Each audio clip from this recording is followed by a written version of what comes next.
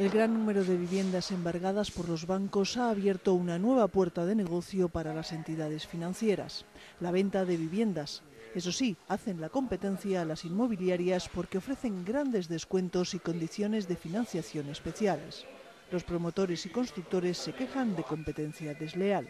Los bancos dicen que no quieren más viviendas e intentan sacarlas al mercado ofreciendo jugosos descuentos.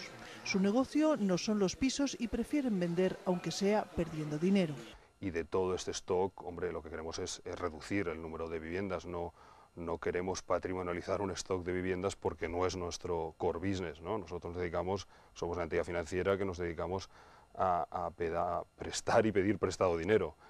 Y, y, y, negocio, y nuestro negocio es, es, la, es, el negocio financiero. ¿no?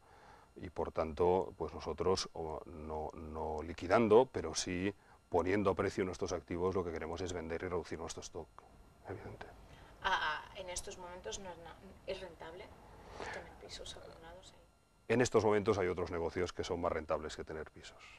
El sector inmobiliario considera que esta guerra de precios perjudica a todos, a las inmobiliarias, a los promotores y a los particulares que no pueden competir a precios tan ajustados.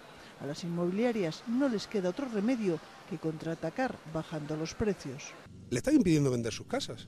A promotores le están impidiendo, vender sus promociones. Ya no una guerra de precios, es que es una imposibilidad de vender sus inmuebles porque están vendiendo incluso a veces por debajo del precio de costo. Entonces, no es que es una competencia absolutamente desleal, están distorsionando el mercado, lo están tirando. Aún así, ni unos ni otros les resulta fácil vender. Por eso proponen a la banca un pacto de no agresión para unir fuerzas frente a la crisis. Por debajo del, del precio actual del